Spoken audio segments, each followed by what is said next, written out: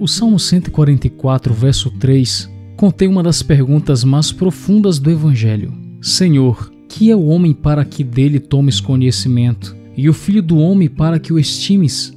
Sabe, a Bíblia vai na contramão dos livros modernos de autoajuda. Enquanto que muitas obras se dedicam a falar da importância que o homem tem, do valor que o ser humano possui, do poder que cada um carrega dentro de si, a Bíblia mostra insistentemente nossa pequenez e insignificância. Sim, a Bíblia quer te convencer que você é pequeno, que você é transitório e que sua vida é extremamente frágil. Ouça o verso 4 deste salmo que diz: O homem é como um sopro, os seus dias como a sombra que passa.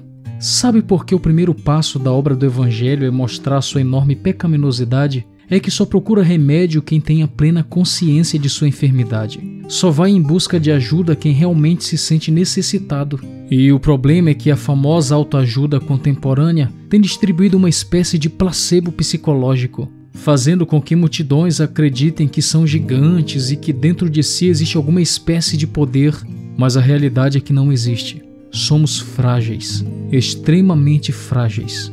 Você pode tentar, eu já tentei, mas no fim descobri que dentro de mim só há escuridão. Minhas forças não me levam para cima e meus desejos só me conduzem para o mal. Assim, se você já descobriu que sozinho não dá, então está na hora de se render aos pés daquele que pode fazer por você e em você aquilo que você sozinho jamais poderá fazer. É por isso que o Salmo 144 conclui afirmando enfaticamente: Sim, bem-aventurado é o povo, cujo Deus é o Senhor.